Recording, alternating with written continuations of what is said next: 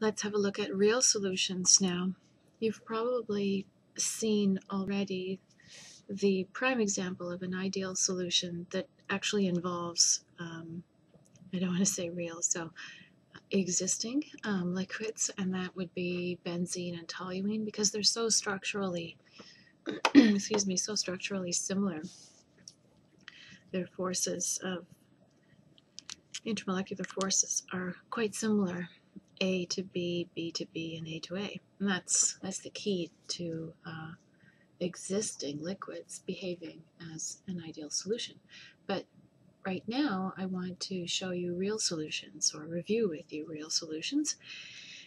And so again, um, I'm not writing everything down here, so you will have to listen, but it is um, real solutions.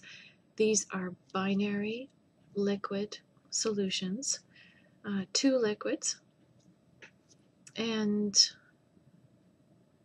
we will make, um, how about this one? We'll make this one um, the higher, the more volatile. So let's make, this is A, so this one would be B. so that's the pure vapor pressure of, of B. Um, that is the vapor pressure above pure liquid B. So again, that's a table value because what's uh, constant here in this presentation is temperature. And um, we'll make this one lower vapor pressure. So that would be higher boiling point when the mole fraction of A is 1. Makes sense that that's the pure. Now, before you jump too quickly to adding Raoult's lines, this is real solution. And a real solution, uh, excuse me, does not um, obey, as they say, Raoult's law. Rather, we draw it in as dashed line. We can do that for, I mean, if it's misbehaving, it's misbehaving. So we'll do a dashed line for um, Dalton's law of partial pressures as well. I'm sure it's not obeying it either. There are two kinds of real solutions because there are two kinds of uh, deviance from ideal.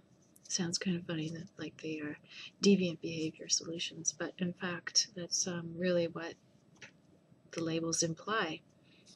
So, um, you guessed it, the real observations either lie above in all three lines or below in all three lines. So we don't have a mixture that wouldn't really make any sense the way that these are mutually related. So um, let's sketch the real solution behavior for these two liquids in which A is the higher boiling point. Um, and let's see, will we make them negative or positive deviating behavior? Um, oh, I know what we can do. Let's let's let our clue um, to whether it's above or, or below come from the observed behavior of their boiling point diagram. So I want to make sure I fit this on. How far can I go? To here. That'll do it. Let's say that this is what we know about. Now instead of pressure mole fraction, this is uh, temperature mole fraction. And we said that since A has the lower um, vapor pressure here, it's not as volatile. So that means that A would have a higher boiling temperature, so TB and this is for A, then, and let's exaggerate it, we will put B down here. Okay? uh, T boiling for B. This is T boiling for A. So TBB if you like. Um, and an ideal, again, I'm not going to even put it in with a dashed line, ideal would give us just that little um, two, or two phase region in between here. And with space between two lines, but necessarily converging to a point at both ends. And instead, we can make either a minimum or a maximum boiling point azeotrope. And it's it doesn't really matter whether we put it min or max in this example. Let's choose. So let's do a minimum boiling point azeotrope. And the minimum can be anywhere along here. It does not have to be in the middle. So I'm going to make it here. So then I have what looks almost like the ideal um, two-phase region between two liquids on both sides.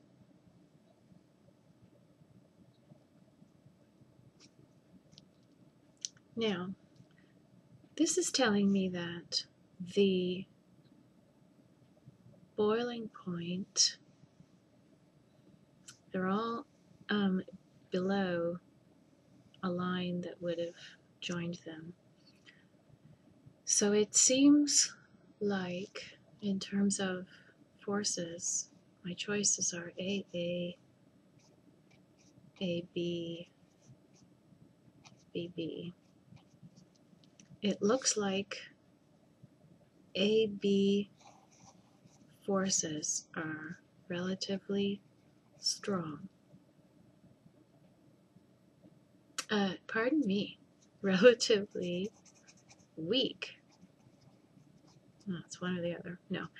Um, relatively weak because the solution is actually boiling, boiling at a lower temperature than either of the two liquids, right? Okay. Sorry about that. You have to um, keep pace with the thought. Make sure everything makes sense.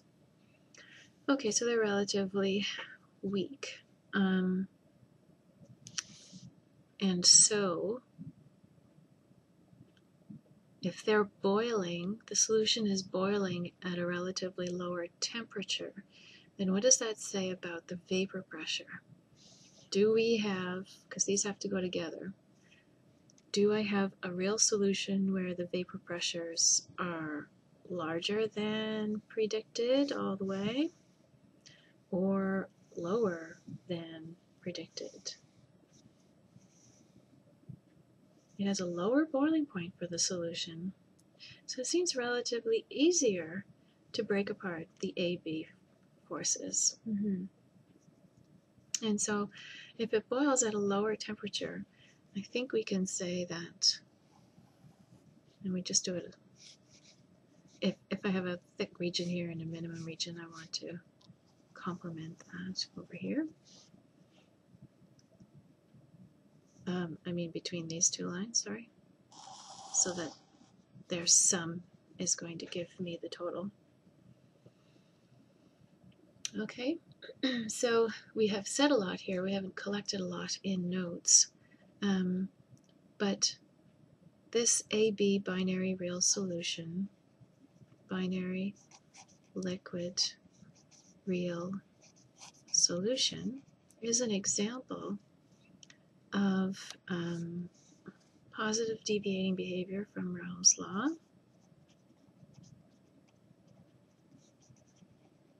Positive deviations from actually both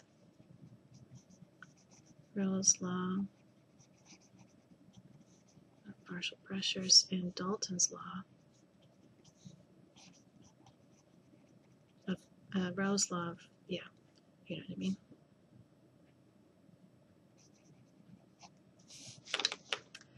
Uh, what else can we say about this one?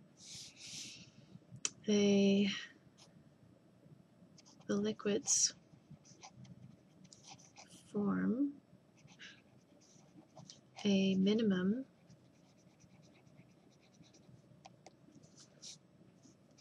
boiling point azeotrope. Oops, my recording is. There we go. And uh, can I see that? Yeah, right here. So be careful when you label, like if you're asked to point out what's the azeotropic temperature, don't point to this, okay?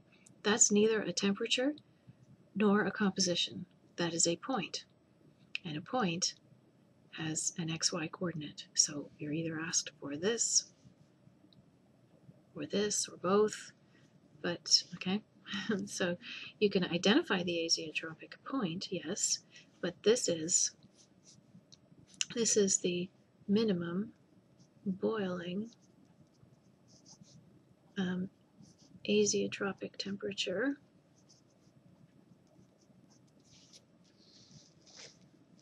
And this is the azeotropic composition. There's different ways you can say that. You can say that that's the composition of the azeotrope. And um, it looks to be about, you know, 0.7 maybe? Um, 0.7 mole fraction A or 0.3 mole fraction B. The liquids form a minimum boiling point azeotrope. Um, it comes down to relatively weak AB forces uh, within the context of the three possible ones.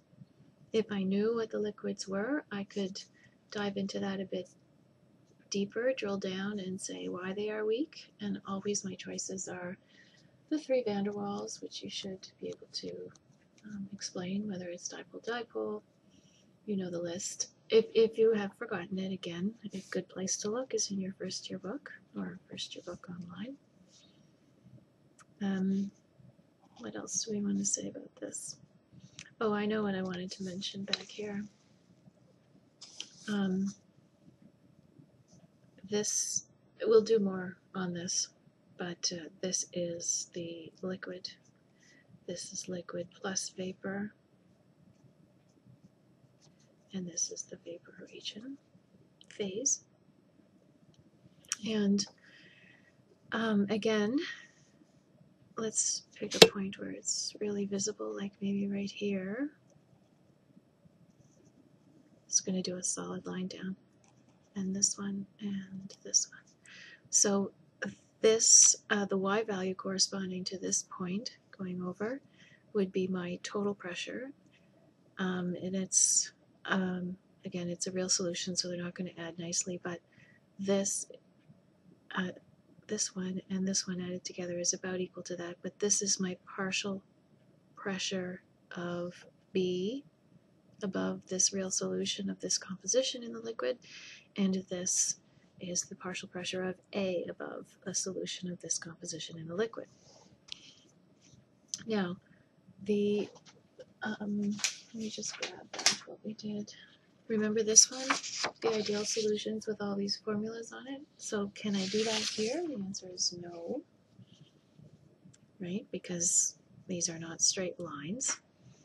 And so even for a real solution, there are parts that behave rather ideally, and I think you can kind of see that even though I didn't do that intentionally, I was lucky, is that, see this region here where it's rather linear and actually this one extends for uh, quite a while. So where it does overlap with predicted ideal behavior, then certainly um, those formulas would apply there. But um, usually we call those regions areas where Henry's law applies. And I'll let you look up Henry's law if you're interested. Um, it is not final exam material in 2015, but you can think of it as, I'm just flipping back in the book to where it's listed. You can think of it as um, an area of the phase diagram that behaves ideally because I can make a, an initial straight line out of it. I can't find it at the moment, um, but you will. just look really quickly. It's strange, I don't see it at the moment. Um, but anyway, it's not exam material, and so you'll see, you won't see it in the ideal, obviously, it's just for real solutions, but that's, it's the initial line that lines up with my initial um, linear portion of these curves. And it, the formula looks uh, quite similar to Raoult's law, except instead of it being a mole fraction of the pure, because you see it's not in line with the pure, it is in line with what's called Henry's constant. And so you can predict the vapor, the partial pressure is equal to the mole fraction in the liquid multiplied by Henry's constant. And the same thing here. So if I were to extend those lines, I can see what Henry's constant would be for each of those gases. Anyway, Henry's constant, not exam material in 2015, okay? What I would like to do is take a closer look at this one and maybe redraw it a little bit, a little bit bigger for focus. Um, and actually, before I do that, let me bring it back for one second. So, can I just show you on here?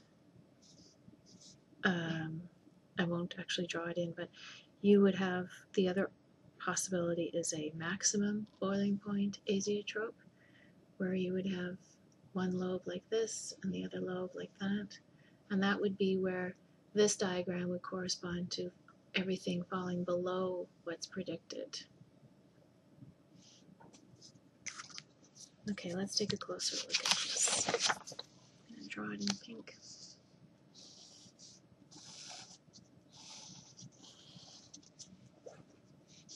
This was low, high, and um, a minimum. Make sure you're not above, eh?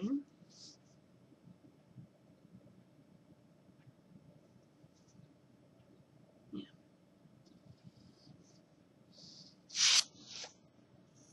Something like that here.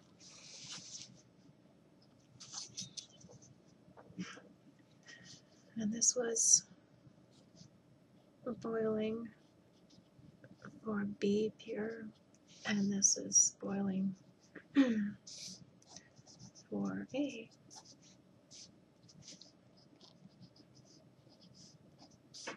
Good.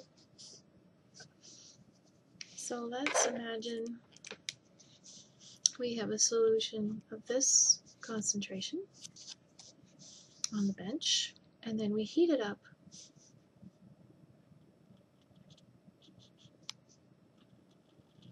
we heat it up. What is going on as we heat it? What are we seeing? Well, we can make some um, labels here. F, G, H, and I. How about that? and we're heating in this direction. So I'll let you take maybe some notes and I'll just talk about what's going on. It is a closed system.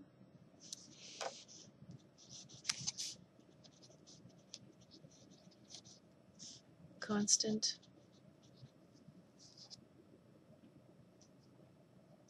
uh, pardon me, it's not closed because I would be traveling differently on the phase diagram. It's, it's open because I have boiling and it's at a constant um, atmospheric pressure.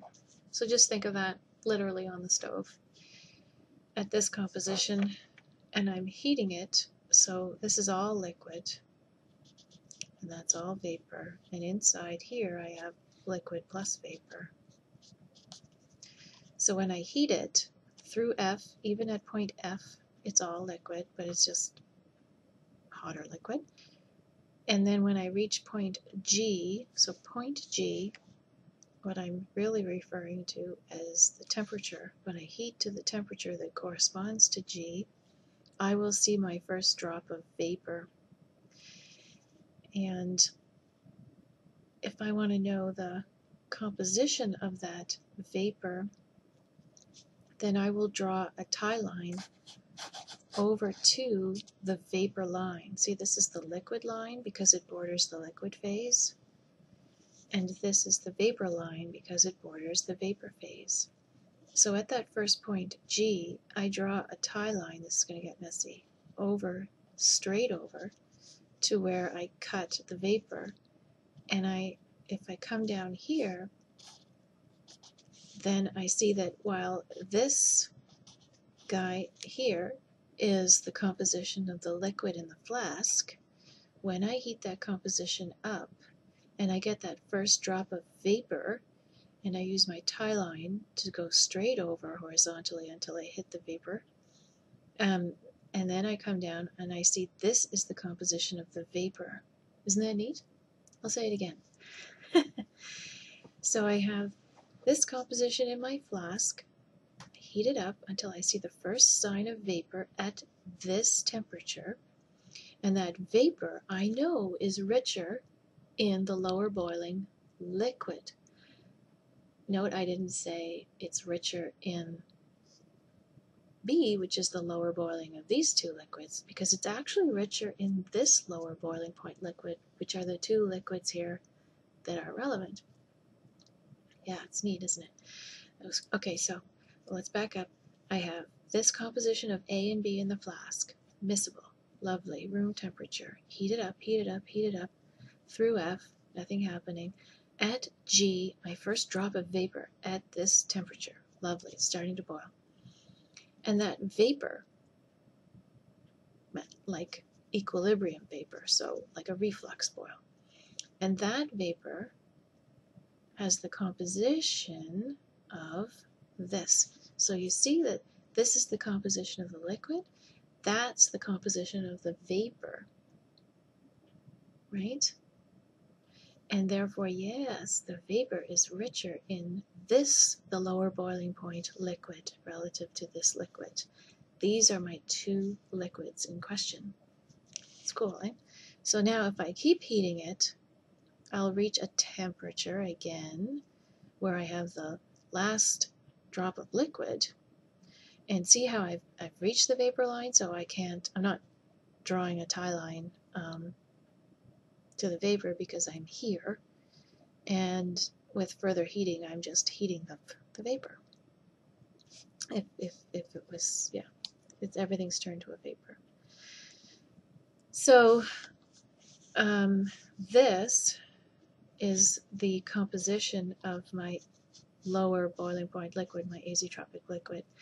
So the azeotropic composition, that liquid that has the azeotropic composition actually behaves as a pure liquid. Think about it. Let's come over here. This is pure liquid A. And if I just heat pure liquid A, I'll hit the boiling point of pure A and then everything turns to vapor. There's none of this two-phase region going on, right? Yeah, there's nothing to separate because it's pure A. And so look here, when I at the azeotropic composition and I'm heating up and I get to this point, this is the point where it turns to vapor. And so what's cool is that if I'm boiling this, my vapor above an azeotrope is the same composition. See, there's no tie lines, it's just a point, it pinched down the vapor composition is exactly equal to the liquid composition. Yeah, whereas everywhere else, everywhere else except for this composition, the azeotrope, and of course my two pures, everywhere else the vapor is richer in the more volatile component. You don't believe me, we did that one. Let's try this one. Let's land here at this composition. Let's heat it up, heat it up, heat it up, heat it up.